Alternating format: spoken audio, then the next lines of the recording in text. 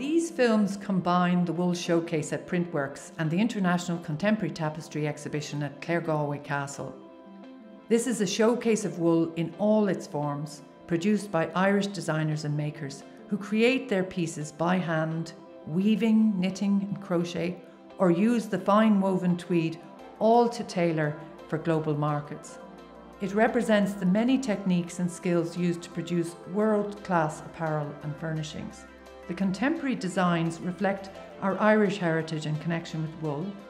It also reminds us of the continuous relationship that we have with this sustainable material. Each of these makers has a unique approach to their use of wool, whether in fusion with linen and other natural fibres, using raw felt or refined tweed, natural or dyed wool. Each tells their own story. And we are delighted to celebrate this story with you.